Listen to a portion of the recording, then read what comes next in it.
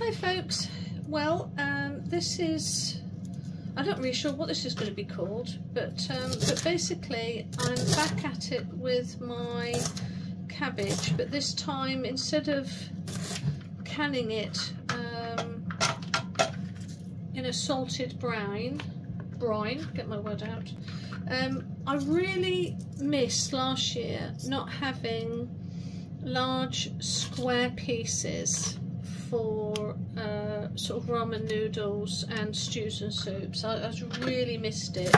So I thought, okay, I've completely forgotten that I needed to do it. Um, so in a minute I'm actually going to show you how I did.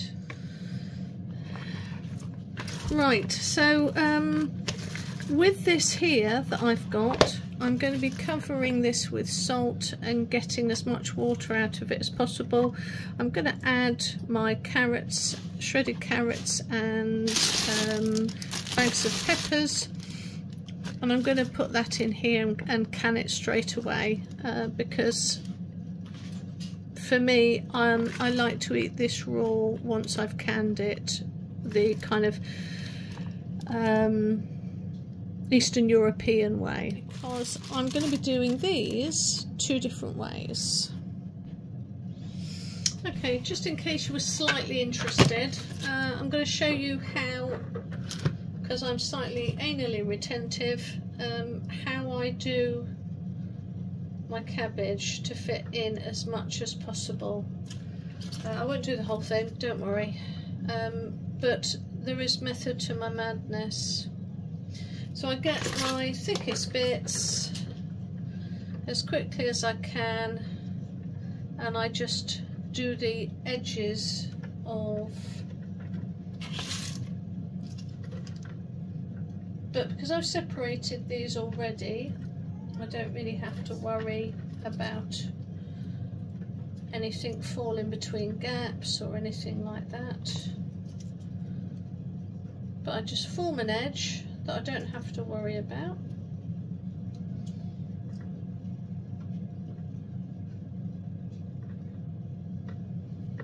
And then once that's done, then in the middle, I just do that. I don't worry about it too much. I just don't like wasted edges. It irritates me. But um, once the edges are done in, they're going to be in for about 12 hours anyway. Ta-da!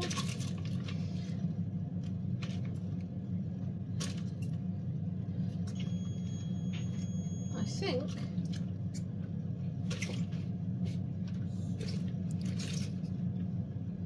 that's about right. So I do ladle it quite thickly.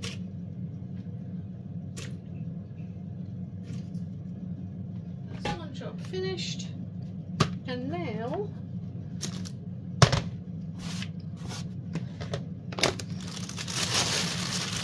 about getting these washed. I know that there's about probably one head here. So with one head, and these are small, so I'll count that as one,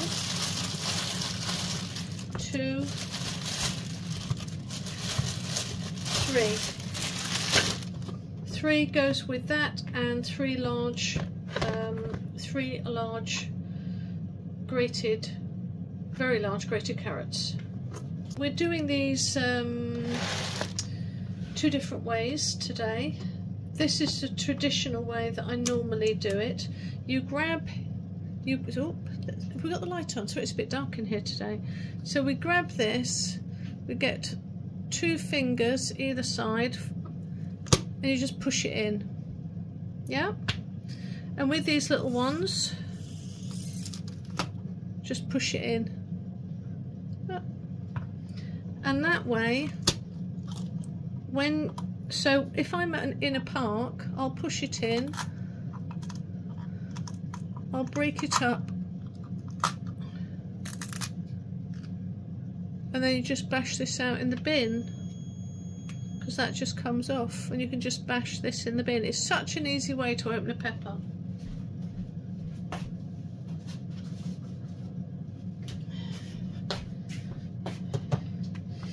Anyway, so once, but you know, for the sake of here, um, we'd cut up,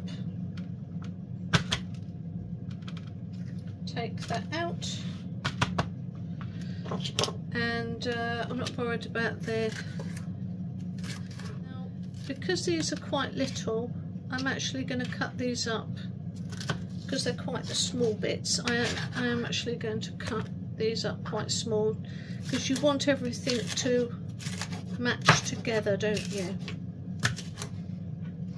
No one wants to have a huge large chunk of one thing and then everything else be small.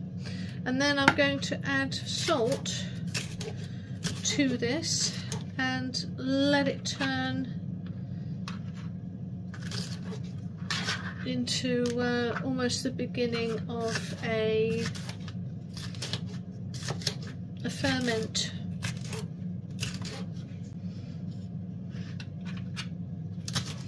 There you go.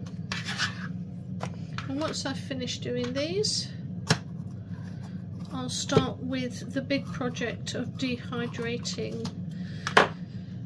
Um, my peppers for soups and stews and and fun things like ramen noodles and just Chinese food in general. And if I have some left over that I want then I will be just dehydrating them as teeny little teeny little jewels of colour. A heap teaspoon a heap tablespoon rather. Just going to give it a little bit of a stir. Now I should like crunch around with it but I don't think my cuticles can take it at the moment so I'm just going to stir it for now until I add the carrots. But I am going to put a cover on this so we don't get any flies. But I am not going to put it in the fridge overnight um, when I've got time to can it later. I'm Just going to leave it out with a cover on it.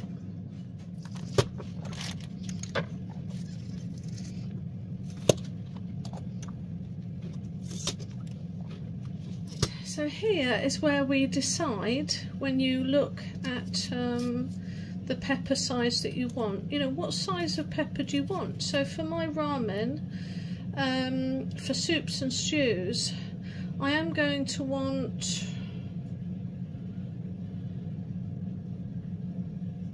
hmm, probably somewhere in the middle of that so but I'll, I'll leave that for now but probably a little bit bigger. So yeah, so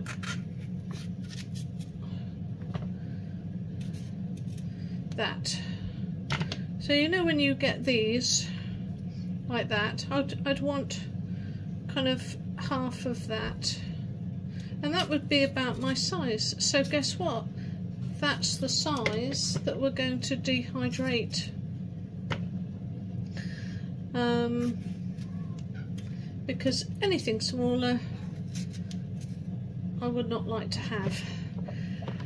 And so for every one that I do with one colour, I'm going to do with the green. Nice big sizes for those stews and ramen noodle dishes because this size is what I'm going to want for omelettes, for, I don't know, putting in cream dishes would be nice. Um, uh, Chinese fried rice dishes, that sort of thing. Putting in sauces but I just I just crave in in the winter I crave more vegetables and I crave them larger and more chunkier. And I didn't do it last year and I wish I had when the prices of these were cheaper. Right, so um, it's the next day. I put, I added the julienne carrots. It was steeping in the salt and see all the liquid there, which we're going to use. Um, I'm going to water bath these and I'm going to add some, uh, just a tablespoon of vinegar in with it. And I think these are about 500 milliliter uh, jars. But this is great for, let me wash my hands, hold on.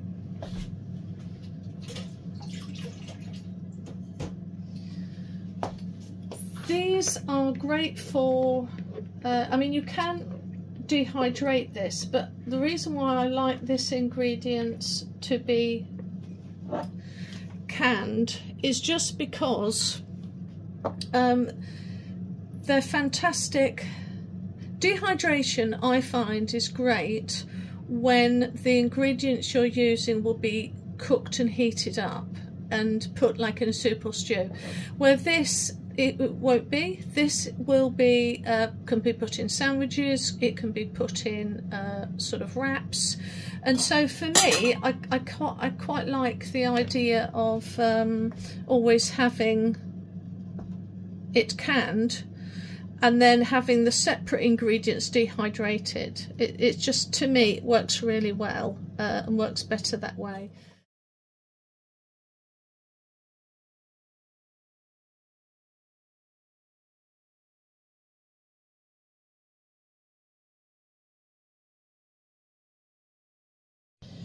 Right, so while they're doing their bit, um, I'm just going to show you my dehydrated uh, cabbage.